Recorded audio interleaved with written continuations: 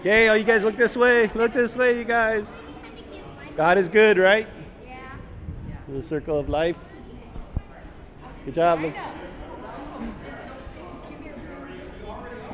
Cassie? What are you doing here? I'm in trouble. You're in trouble? I'm getting outed on Facebook as an abolitionist.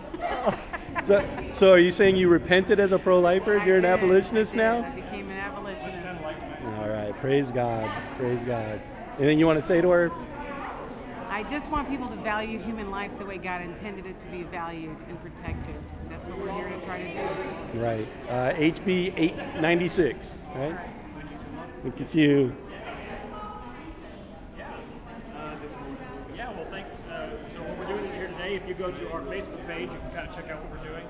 Uh, Abolish Abortion Texas. Just search that on Facebook.